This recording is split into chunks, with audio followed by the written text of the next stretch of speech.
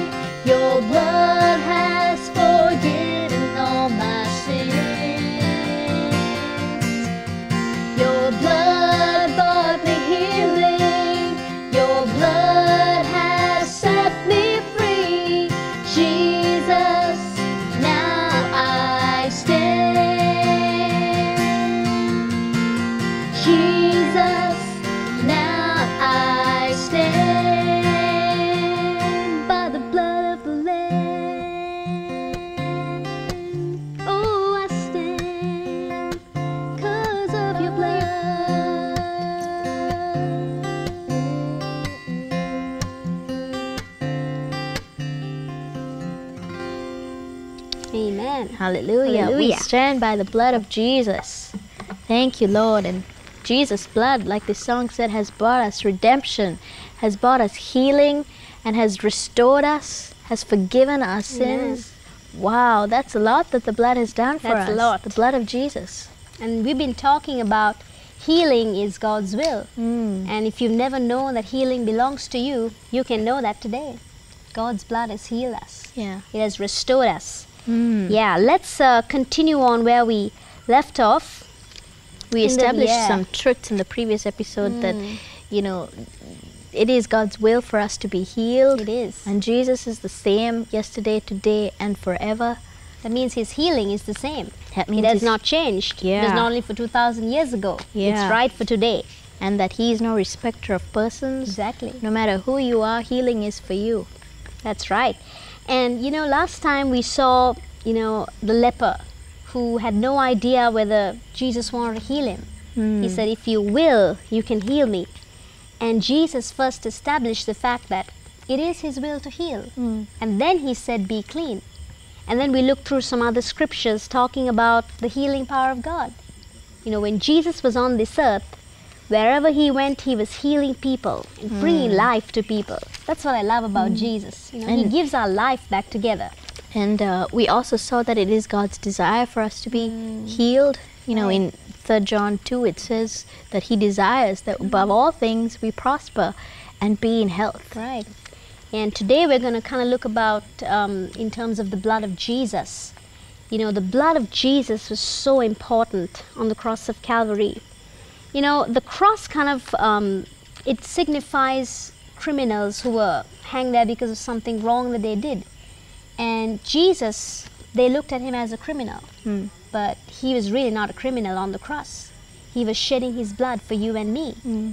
Lots of people shed their blood on the cross, but Jesus' blood was different. Yeah. And that was was, the plan yeah. of God, you know, Mm. that Jesus would come to earth as a man Right. And that he would die on the cross Mm. to shed his blood for us. Yeah. Because we were all sinners and all that we had was unclean blood. You know, none of us could die for anybody. Mm. We were all unclean sinners. But Jesus, God sent his only begotten Son, Jesus, to die for us on the cross. And through that, we receive salvation. We are able to spend eternity with God Right. and even enjoy here life, Mm. abundant life here on That's earth. That's good. Enjoying life here on this earth. Mm. Jesus gives us healing. healing is part of that. Yeah. And you know, he gives us healing, but he also gives our life back together. That's what I love about Jesus. He was healing people and bringing life and hope back to them. Mm. So today we're going to kind of look at the blood of Jesus, and I want to take you to a scripture in the book of Isaiah. Let's go to Isaiah 53. Now, on the cross, we see Jesus was a curse because in those days, when people were hung on a cross, they were considered cursed people. And there's a scripture in Galatians, which we will touch on later, it says that Jesus became that curse for us. Hmm. He was, you know, he was looked upon as somebody who was like a murderer, a criminal, who had done something wrong. Yeah. But the truth is, we're going to see that what God was establishing through the cross in Isaiah 53. Let's start reading from verse 3. It's talking about Jesus. It says, He is despised and rejected of men, a man of sorrows and acquainted with grief. And we hid, as it were, our faces from him. He was despised, and we esteemed him not. Verse 4 says, Surely he has borne our griefs and carried our sorrows. Yet we did esteem him stricken, smitten of God, and afflicted. Verse 5 For he was wounded for our transgressions, he was bruised for our iniquities. The chastisement of our peace was upon him, and with his stripes we are healed. Now, Man. yeah, you know, there's so much of truth in this. First of all, we see, I don't know if you noticed, but it mentions many times that Jesus was despised, Yeah. right? It says he was despised and it says he was rejected. Well, on the cross, that was his position. He Hmm. Yeah. was despised by people, he was rejected, Yeah. and, and people couldn't understand why such a good man was on the cross. You know, And he did all that for us. He did all you that know, for us. in this very scripture, there's a great exchange that's mentioned. You know, and like you mentioned, he was despised. Mm. And, you know, sometimes we feel, I'm despised. Well, nobody likes me. I'm rejected. Well, on the cross, Jesus was despised for you. And he was rejected for you. So that you don't have to be rejected and despised. You can be accepted. You can be. Yeah. And you know, if you kind of break it down and see, Jesus, according to these verses, he has carried our sickness, anxiety, and these are some kind of simple meanings. He's carried our pain, which is referring to physical and mental pain, and sin, and fear and torment as well. Jesus was tormented in every area of his body. You know, when they took the whip and they beat him, one blow itself caused the person to kind of just fall apart. because it was so bad. The you know the whip when when the Romans hit, it was not just a slight touch. They really beat you, so you felt the pain. And Jesus, he carried 39 times this pain of the whip. Yeah. 39 times. Just imagine that. And the last part of this verse says, And with his stripes we are healed. In those days, when they beat people, it was because they were criminals. Yeah. But when they beat Jesus, he was really doing the work of God there. He mm. was bringing healing for us. And on the cross, Yeah. he suffered every kind of sickness and disease mm. and pain and, like you said, anxiety Yeah. and worry and all these things are things that we feel here on earth Yeah. yeah. and all these bad things. But Jesus carried every single one of those mm. so that we don't have to experience those or live in those forever. Yeah, and every stripe it represents you know some kind of sickness or disease. When he when they beat him, he was taking either cancer or um, you know some kind of a bone disease or headaches. He was carrying all kinds of sickness on his body. And That's he did that just that. for you. Yeah, He, did, that, just for you because he loves you.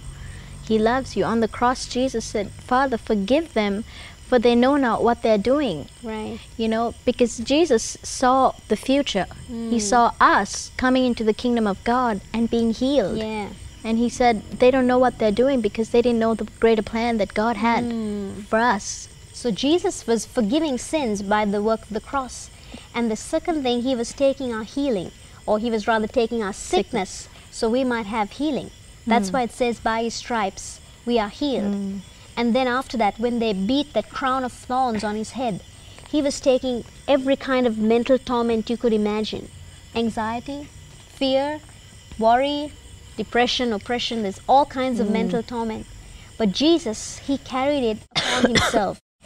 He became a tormented being. So hmm. you don't have to be tormented in your mind anymore. Amen. And you don't have to be tormented in your body either. Hmm. Because it says, with his stripes, we mm. are healed. And if you if you are experiencing those kind of things, you know, those worries, those cares, those headaches, you know, you can say, Lord Jesus, I I, I see you carried all these things on the cross for mm. me. Right. And Lord, if you did that, I don't have to carry them again. Mm. I don't have to carry them the second time. If you already took them, you know, and what you can do is say, Lord, I receive your healing and take it by faith and constantly say, Yeah. and that's what you know we need to do. We need to change our way of thinking because some of these things may be new to you. You've never heard stuff like this before. Yeah. It's because you know we we live in a very negative world around us, and everything everybody's trying to say something. Everyone's trying to mm. push things down our throat. But what we need to do is go to the Word of God and see what Jesus did on the cross. He wasn't just paying only the price for our sins. He was paying the price for our healing too. yeah, this scripture is so liberating. It says, with his stripes, we are healed. Yeah, that's a good confession to make. That's something good to say. I mean, At anytime yeah. you know symptoms attack your body and you know you feel weary and weak and all that you say jesus you took stripes on your back for me Hmm. and by your stripes i am healed it was an exchange that was taking place on the cross. Yeah. You know, he was taking sickness so you can have healing. He took the sins so He you can have forgiveness. yeah he was wounded Yeah. it says here he was wounded for our transgressions for all the law breaking that we did we broke Hmm. Right. god's law in a great way Mm. and jesus was wounded so that we could be forgiven of that Yeah. And then it says he was bruised or he was Mm. crushed for our sins, for our iniquities, so that we can be forgiven of sins. Yeah. And then it says he was chastised or he was punished on the cross. That was a punishment that Jesus took so that we could have peace, Yeah. so that we could have peace of mind and be free from worry. And then it says he, he took stripes upon his back, 39 stripes, and it says for our healing. By his stripes we are healed. Yeah, that's a good confession to make. Even in 1 Peter 2.24, it says, with his stripes we were healed. Mm. That could be your start of, you know, um, healing, understanding what healing is. Yeah. By saying, Lord, by your stripes I'm healed. It doesn't matter what sickness it is. I know that you've carried it upon your back when you face that torment. And you've carried all mental torment Mm. Yeah. upon your head. And then you can say, Lord, I thank you because you took mental torment, you carried it upon yourself. I can have the mind of Christ. Amen. You know, I can have peace of mind. I can be free from worry and depression. Yeah. You've already carried it, so why should I carry it anymore? Yeah. I mean, seeing ourselves healed is so important. That's the first step in seeing that you are healed. That's how valuable the blood of Jesus is to us. That's right. Provides us healing. Mm. You know, Galatians 3:13 and verse 14 kind of tells us what Jesus was going through on the cross. He became a curse for us, right? It says, we'll, we'll actually see that because that is really, it's such an important scripture. We've got to know what Jesus has done on the cross.